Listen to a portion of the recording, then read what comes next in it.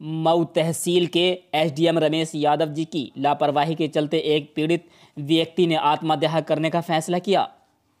Mau SDM application लेने के बाद भी नहीं करते हैं, कोई कार्रवाई नहीं लेते हैं संज्ञान में।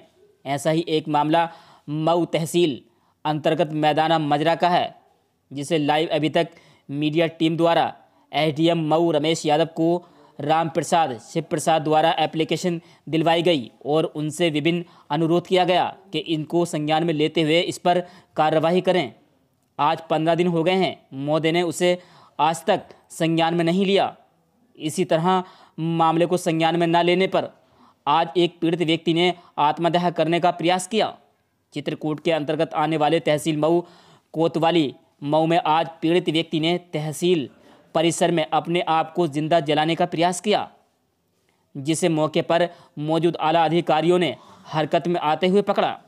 मामला है लोहरी, ग्राम सभा मजरा, कोलसा का।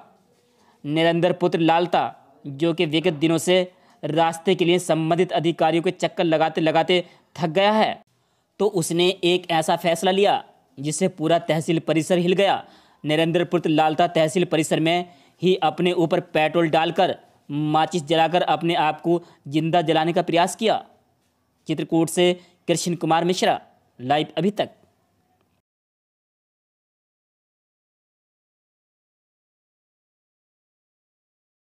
तो देखे कि हम कानून पढ़ पढ़ किताबें लेके हम अपने पब्लिक परेशान हो जो दबंग हो उनको ले हम घूमे।